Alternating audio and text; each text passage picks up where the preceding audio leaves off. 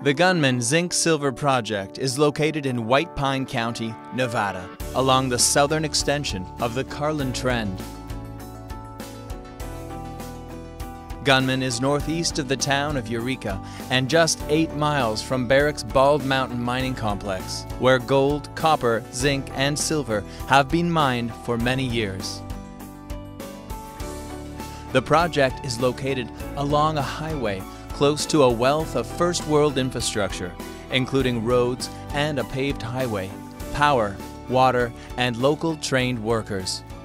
Cypress Development Corp has staked 1,140 acres of known mineralized terrain in the foothills of the Diamond Range.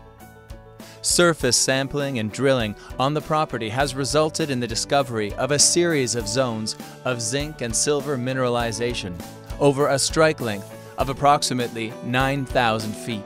These zones include the Far South Copper, RH South, RH, RH North, and the Far North target area. While mineralization has been demonstrated at all of these targets, the RH zone is the most advanced stage target at this time. Mineralization within the RH zone is spectacular for its very high zinc and silver grades, for the mineralized interval lengths, and for the continuous nature of zinc grades in excess of 5%, accompanied by multi-ounce silver values. This zone is also mineralized near surface in most holes.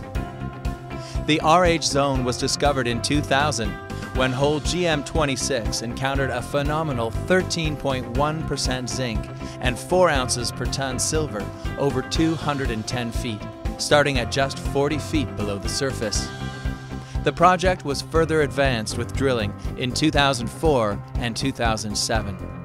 Results from Phase 1 drilling, released in 2014, continue to contribute to a compelling story, with holes 3, 4, 5, 8, 9, 10, and 11 all having excellent, long, high grade intervals.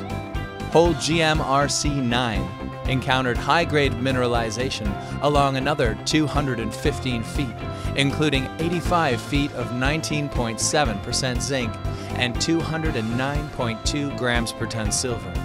Mineralization in this zone remains open to depth and a long strike on surface.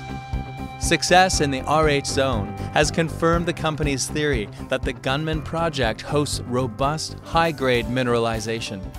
Over the last year, the company has expanded the strike zone on the project from 2,500 feet to over 9,000 feet.